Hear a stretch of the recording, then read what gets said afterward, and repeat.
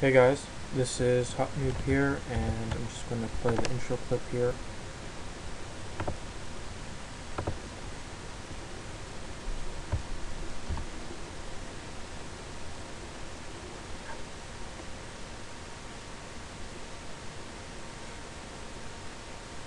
Anyway, um, I got a request on my blog to show a bit about um, decompilers and so on. He also requested to show how to recompile everything. I'm not going to show how to recompile everything because I don't approve of people stealing other people's work. So um, first of all, I'm going to start with .NET decompiling. So you need a program called Reflector. So, right? So reflector.redgates.com, whatever, download, whatever. You don't need to download the trial. You can use um, a, a express version or light version or whatever.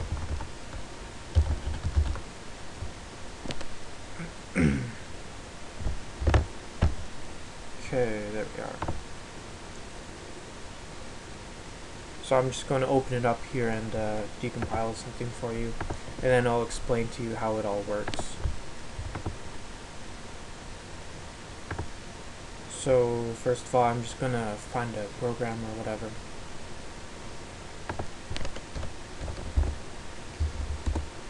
Um, let's see.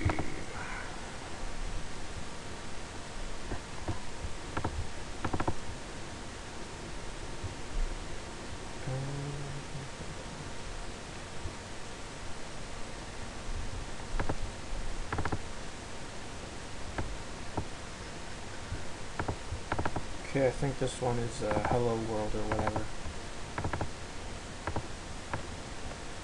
And this works on both release and debug versions.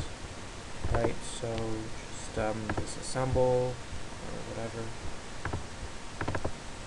There you go, expand.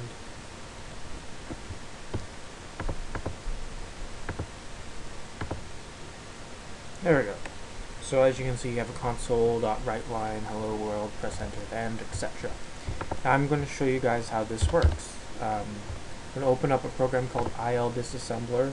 It comes with um, Microsoft's Visual Studio Professional and probably Ultimate or whatever the higher version is. So I'm just going to drag and drop this in here. And as you can see, the setup looks a bit similar. Now the difference is this is um, an MSIL disassembler. This only works for .NET based um, programs. Basically what it does, it reads the binary code and the binary is what um, are pretty much just little functions, right? It, um, that's how binary works. I won't explain it. If you want to know how this works in, um, you know, just go learn binary code or whatever, right? So um, pretty much what happens is some uh, byte or a byte with value of whatever um, represents LD string, which means load string, and this loads um, this text hello world into um, the stack, and then it calls the function here system console dot write or write line, right? Right, it sh shows up all here. I made myself my own uh, .NET decompiler as a learning project, and um, as a tool for making a, polymorphic in uh, cryptor or obfuscator or whatever. So anyway, decompiles and you know this is what you get. This is also very similar with um, native coded uh, EXEs. You just use OllyDbg and you get something that's pretty similar. Just gonna go here find one of my um, other ones. Look, project 5.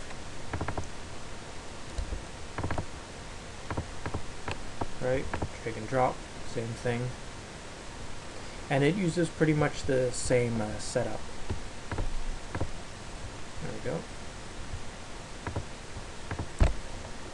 Right. As you can see, the commands are pretty similar, right? Got call, you'll recognize them the binary values are completely different and so on. And the difference between native coded and MSIL is that um, with MSIL, the program is being compiled into another into native code from MSIL upon running it.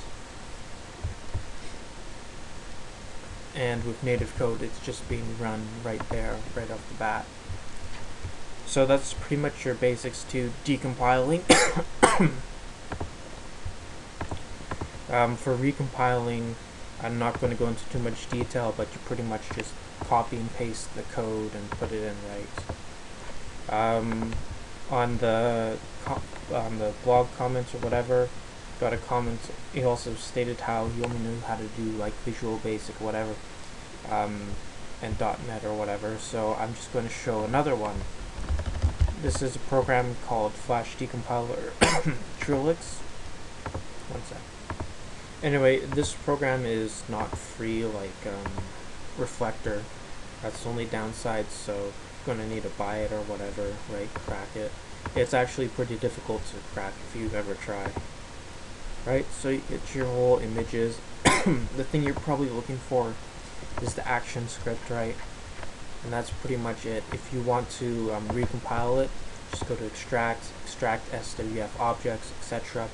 And then you just go to the um, the project uh, file or whatever, right? It's pretty plain and simple.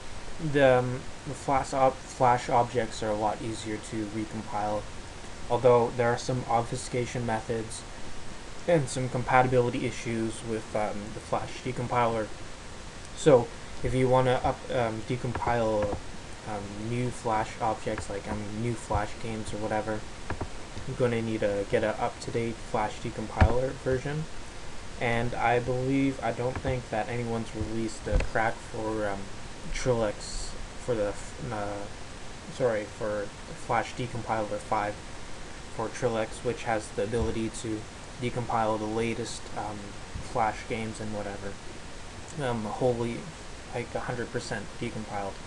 Um, the the Flash version 4 will only partially decompile it and I'm not going to release my cracked version of the fifth version because that would be illegal. anyway, this is Hot Noob. Um, come check out my blog if you have any questions. I could, I guess, um, go into more details about how decompiling works. But in uh, basic, or like in short, it, um, you know, decompiles it, right? takes the binary code or whatever the data is in and then it puts it into the form that it was before it was decompiled. It's pretty much just reverse engineering. it's not overly complex, you just need to know a lot about the, um, what you're trying to decompile and so on. Anyway, this is Hot Noob. Come check out my blog and I'll see you guys later.